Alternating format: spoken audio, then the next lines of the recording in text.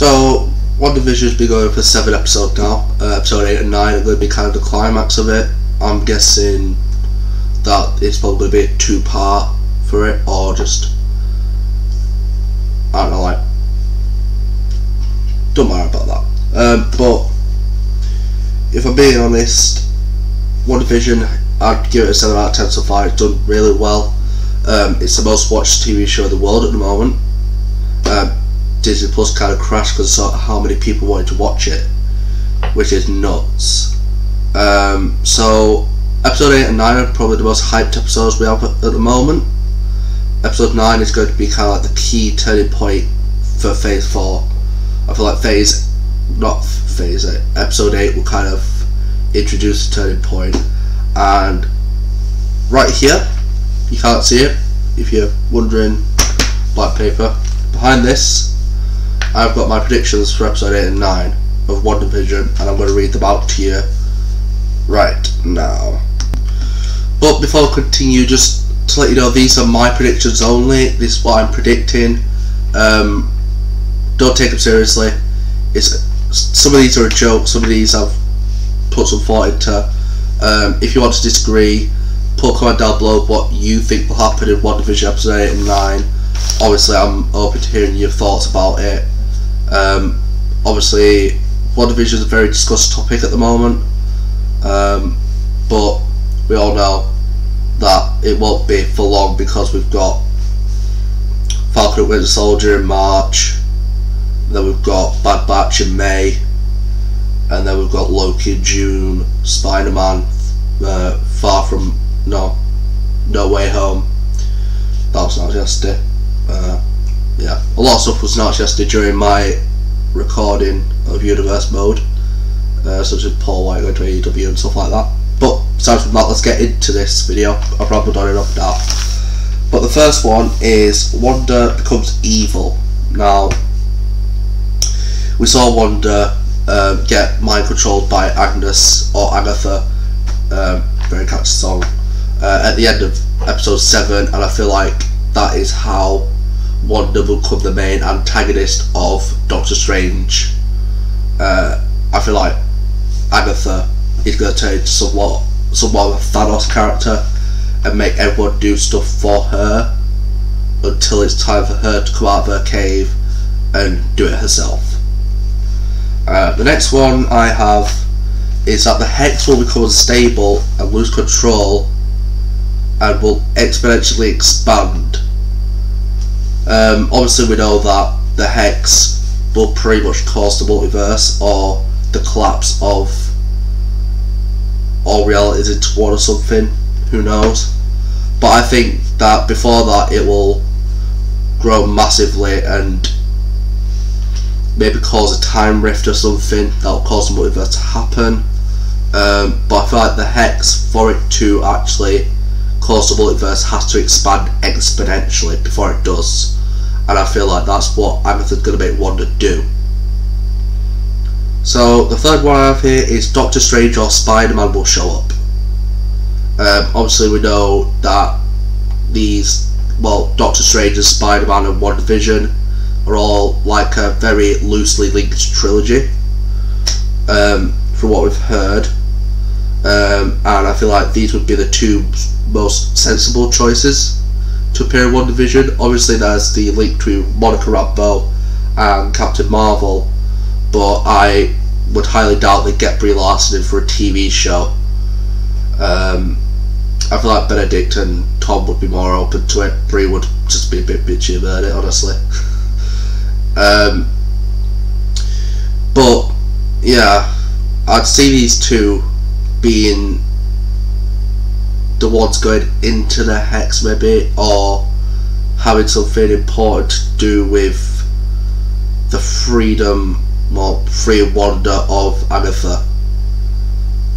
But anyways, um, also we heard about the Kevin, Kevin Feige saying and Paul Bettany and Elizabeth, Elizabeth Olsen saying that there's a moment in WandaVision that is parallel to Luke Skywalker in The Mandalorian and if I'm being honest, I I'm going out on a limb here. Um, I've just guessed that when Spider-Man walks into the Hex, he will change into Tobey Maguire. He'll go from Tom Holland to Tobey Maguire, change into the uh, Sam Raimi Spider-Man, as long as he's in the Hex. That's my guess. Obviously, it probably won't be right. It's very hard to predict what it will be, especially as it's all a shot in the dark. Nothing much to really say. But I'd say that Spider-Man will change from Tom Holland to Tobey Maguire when he goes into the Hex, and the Hex will change so much like they like to change your appearance, like everything, except from your core memories. But next up, um, I've got Mephisto will be revealed as a big bad guy. So so far we have learned that Agatha will probably be the big bad guy, but I don't feel like she will be just. It'll just be her. I don't feel like she could just pull this off all by herself. Um, I feel like Mephisto will play a key part in how Wanda is presented in the next couple of films. Um, I definitely don't see Agatha being able to control Wanda for long. Yeah, I feel like Agatha is probably a lot less powerful than Wanda and only was able to mind control because she caught her off guard. Um, but I feel like that Wanda would come to a sense and easily break out of it without the power of someone like Mephisto. Uh, this actually links into the next one.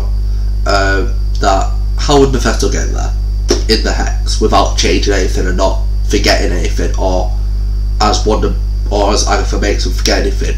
Maybe Agatha could open it up for him. Or what I think is that um, obviously you remember the Halloween episode where Wanda expanded the hex. We saw it expand for the first time. Um, in that episode, we heard Pietro say to Billy and Tommy, raise hell demons born. And I think that they will take that literally and actually make Billy and Tommy the demons born for Mephisto. And that's maybe how he would get into the Hex, is using their, uh, just their bodies as spawn and just use them to get into the hex, and that's how you teleport in there. But the next one is I think that Vision will die because of Wanda, not because he saved everyone. And that's probably why he would need the help of Doctor Strange and Spider-Man, or or Spider-Man, not and. Um, thought it'd be a scenario again where Wanda will have to kill Vision or Wanda will just have forgotten who Vision is because of Agatha's mind control and she'd just kill everyone without remorse and she'd do that to Vision. But also you gotta make the point that wouldn't have made Vision immortal in the Hex at the time, uh, I don't know. But I feel like Vision will die to Wanda again. Um, it just makes sense. I don't feel like they would. I don't feel like they keep Paul Bettany on for a long term as Vision, but at the same time, Paul Bettany is such a top class actor that why wouldn't they keep him on? And like, why would they bring back a TV show about WandaVision if they weren't going to keep him alive? So, in one way, I think I'm right. In one way, I think I don't it's a toss up with this one. But if Vision was to die, I feel like Wanda or um, Hayward would be the ones to kill him. Uh, second to last one is that I think Monica will, use, will get used to her powers and start using them to their full effects by the last episode. Now that might seem a bit confusing and just a bit too quick, but I feel like Monica would easily adapt and be able to use them on a more regular basis than she is. Because she hardly used them in the last episode, even though she'd just got on. I know that kind of sounds weird, but I mean, if you're a superhero, you're gonna easily adapt, aren't you? Um, and obviously, I feel like Monica will be able to easily adapt to her new powers and kind of get the sense of what they are, be able to like fully understand them. Well, not fully understand them, but understand the basic capabilities of capabilities of them and use them to their full effect. Um, the last one I've on here is that the Nexus will be the cause of the multiverse. So the Hex, the Nexus, and the multiverse will all link, and they will cause a chain reaction. So the Hex expands exponentially, which will create the Nexus, which will create different pathways in the Hex, and then the Hex will have like some sort of rift or something that will cause Hex to break, but if it decided not to, so all the different realities are exposed to Earth 616 and all realities will pretty much be on one planet. I feel like that would happen because of maybe Agatha. Um, because if you look at Spider-Man Far From Home, one of the teachers who asked um, how could a, there be a water monster, um, of the teachers responded with witches, so I feel like Agatha would have something to do with the creation of, uh, or some sort of witch. Maybe not Agatha, maybe. Who knows? But, um, I feel like they would, uh, witch or Agatha would have something to do with the creation of something on a molecular scale that isn't possible in our reality. And that's how I feel that I feel like she would create the multiverse and create some new next level shit that we that everyone would have to overcome. But that's all I have for the predictions today. Um, yeah, some of these are interesting. Some of these I kind of just guessed. I just thought off the top of my head. Some like the one with um, the Vision one and the one with uh, the Nexus and Mephisto. Then ones, the last couple, I they were serious ones. The other ones I'm a bit skeptical about still. But uh, thank you all for watching. Before you go, please make sure to like, share, and subscribe. We're on the road to 100 subs. We're currently at 77.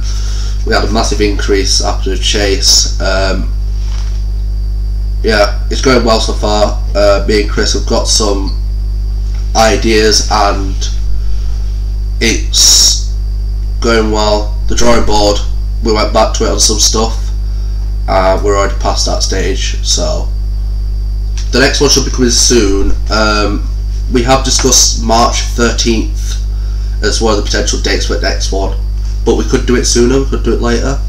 Never know. Um, March could be a big month for this channel. Um, I'm planning on doing a lot of stuff. Um, if you thought February was mad, was um, mad, because February is like the most viewed month of all time. So February was a bit nuts. March is going to be fucking better, honestly. You'll want to stay tuned for this, ladies and gentlemen. Um, but yeah, thank you all for watching. Um, I hope you all stay safe. Obviously, COVID and that. but take care.